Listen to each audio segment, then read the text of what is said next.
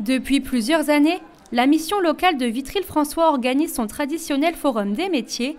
Ouvert à tous, ce salon permet de rencontrer des professionnels de l'orientation ou encore de l'insertion. Ça permet de, montrer euh, l'éventail des opportunités euh, possibles sur le territoire.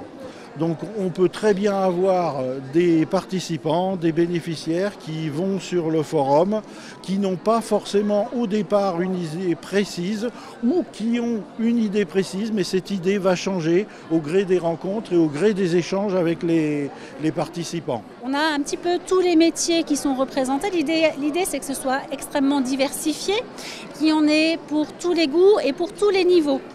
C'est-à-dire qu'on peut aller du CAP au BTS à l'ingénieur ou autre.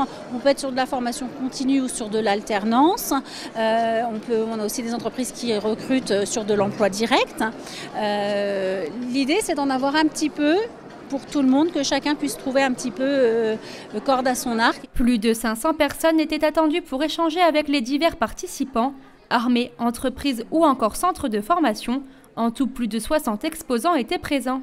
Déjà pour capter effectivement un vivier de candidats qui pourraient potentiellement être intéressés pour entrer en formation, mais aussi pour la marque employeur. Ça nous permet de renseigner des jeunes qui des fois euh, n'ont pas forcément euh, d'idée de ce qu'ils aimeraient ou alors une idée un peu vague et il y a besoin d'approfondir. Donc ça nous permet de les renseigner au maximum sur euh, qui on est et quel métier on peut proposer, de quelle manière. Et même de se faire connaître parce que c'est vrai que les matières euh, d'alternance, les métiers de l'artisanat, c'est des choses qui ne sont pas forcément mises en valeur et dans les médias. Et aujourd'hui, il y a beaucoup de réseaux sociaux, c'est pareil, et dans les, dans les écoles.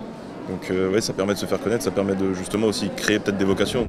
Pour créer de nouvelles vocations, le Forum des métiers reviendra l'année prochaine. Il se tiendra le 7 décembre 2023 à la salle du Manège de Vitry-le-François.